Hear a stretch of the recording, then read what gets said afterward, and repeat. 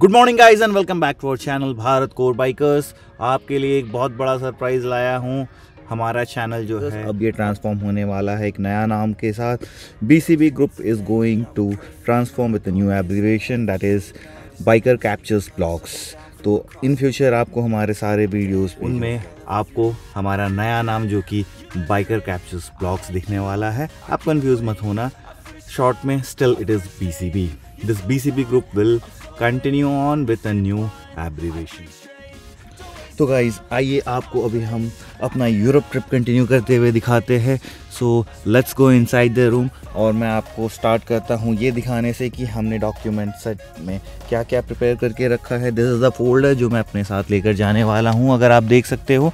तो this is the first page it's an itinerary in landscape mode इसका एक मेरे पास पोर्ट्रेट कॉपी भी है so this the complete itinerary of next twenty days इसके बाद आप देखो, इस डॉक्यूमेंट में मैंने एक बहुत इंपॉर्टेंट चीज़ ले रखा है that is my travel insurance क्योंकि रास्ते में कुछ भी हो सकता है guys apart from that this is my covid certificate international driving permit and इसके अलावा आप देखोगे तो this is my complete ticket bookings from here to Europe and Europe का जो भी internal country to country travel है उसका।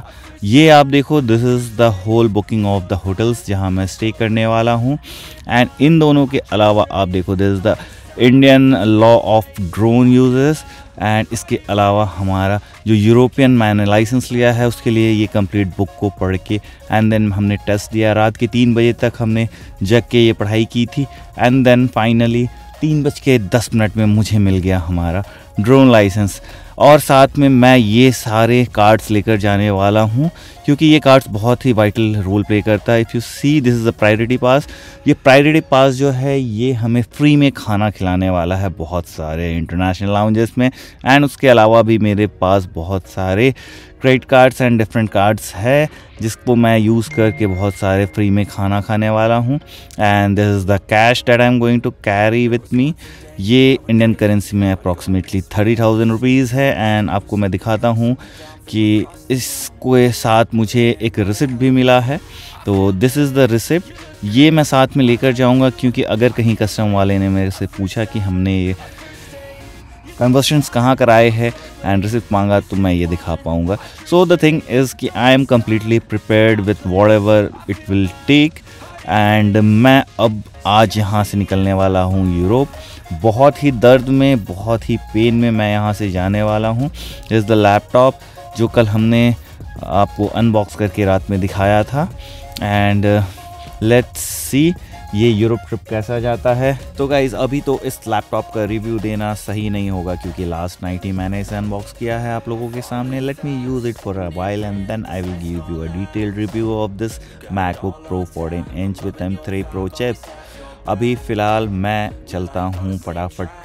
ब्रेकफास्ट करता हूँ, एक लाइट सा ब्रेकफास्ट एंड देन रेडी होके मैं निकलता हूँ एयरपोर्ट के लिए। So guys time to leave for the airport हमारा जो लगेज है यहाँ रेडी है बट उससे पहले let's go and take a ride of our BMW इसको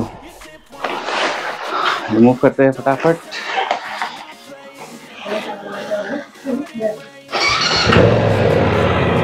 तो guys we just made whole set and build the sound and एक छोटा सा राइड लेके कवर करते हैं। फटाफट एंड भागते हैं एयरपोर्ट के लिए। तो guys back to the car and on the way to the airport international airport New Delhi terminal three के लिए हम रवाना हो चुके हैं।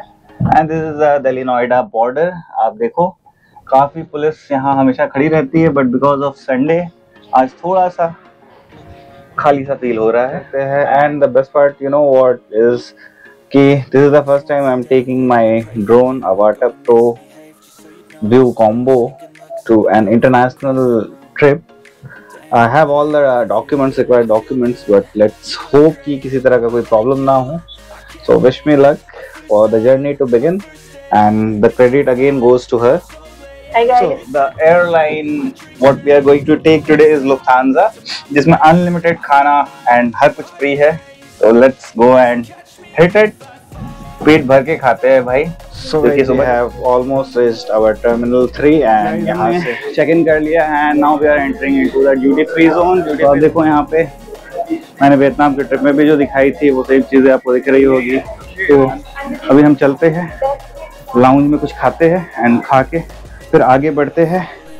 सो so गाइस अभी हम वेलकम लाउंज पहुँच चुके हैं। यहाँ पे will have our lunch and after that we'll go for the boarding of the flight.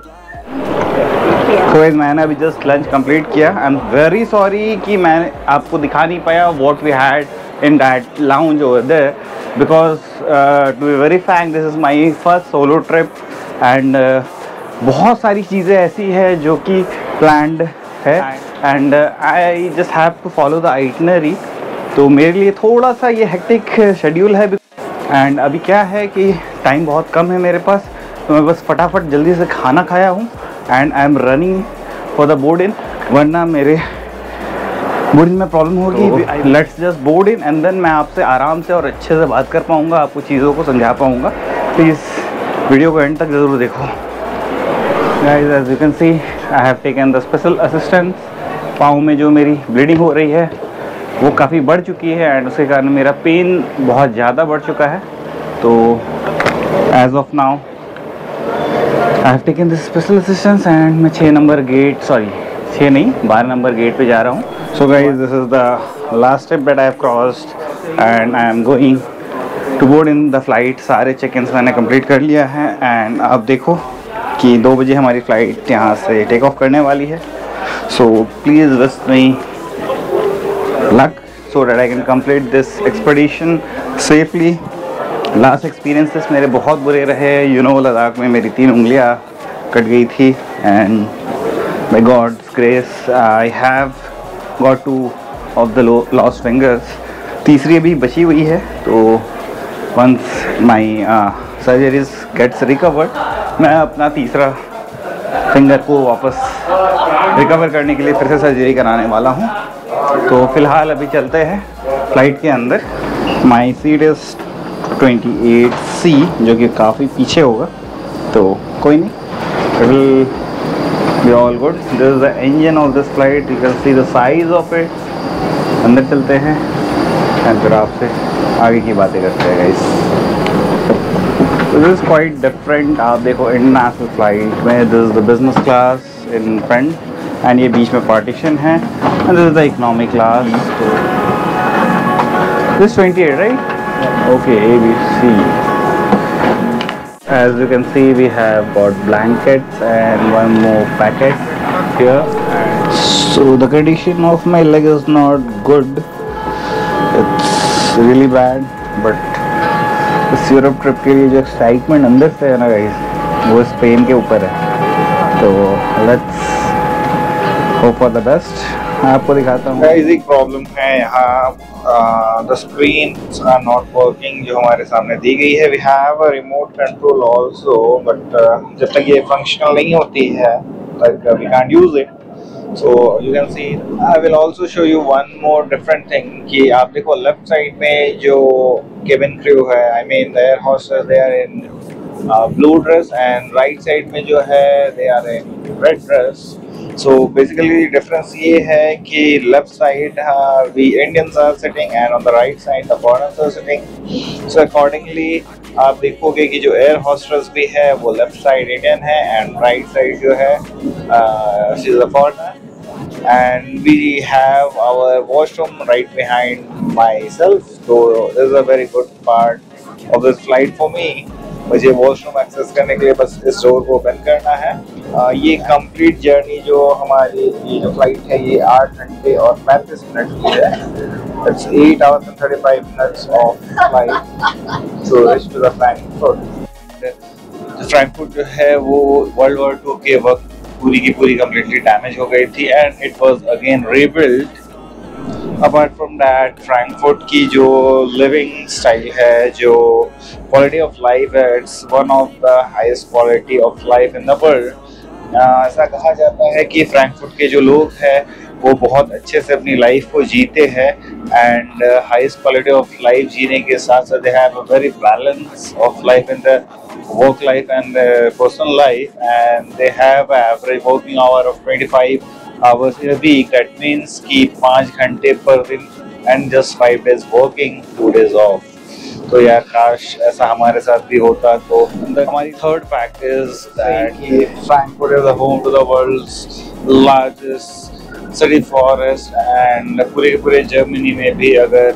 in in the city forest अगर आप देखो तो फ्रैंकफर्ट के अंदर जो फॉरेस्ट है that's the world's largest forest. Uh, Frankfurt has also the world's largest book fair. Just not in the terms की size बड़ा है but the number of visitors and the number of publishing agencies are the world highest in that fair and ये book fair जो है, ये अक्टूबर के month में किया जाता है एवरी ईयर जो ये skyscrapers if you don't know what is skyscrapers let me tell you कि जो बिल्डिंग 1500 मीटर के हाइट के ऊपर होती है 500 मीटर के हाइट के नीचे होती है। स्क्रैपर्स कहते हैं एंड जर्मनी में जो भी स्काई स्क्रैपर्स है आई विल टेल यू कि टोटल जर्मनी में 18 स्काई स्क्रैपर्स है। Out of 18 17 are 17 of them are located in Frankfurt. I need to say कि जर्मनी का जो हाईएस्ट स्काई स्क्रैपर सिटी है, वो भी फ्रैंकफर्ट है। एंड इसके अलावा तो फ्रैंकफर्ट को फ्रैंकफर्ट को वर्ल्ड का हाईएस्ट स्टॉक एक्सचेंज भी माना जाता है apart from this one of the most important thing that I would like to share with you is that हमारा हॉट डॉग जो है that we eat all over India also and in many other countries this hot dog was invented in Bangalore Frankfurt जो कि Germany का central country है तो so guys if you can see here the temperature outside is minus 79.6 degree Fahrenheit which is also आपको मैं just ये explain कर रहा था कि जो temperature है वो काफ़ी down हो चुका है इंडिया के comparison में it is almost outside is minus 50 degree over here so guys they have finally landed in Frankfurt and yeah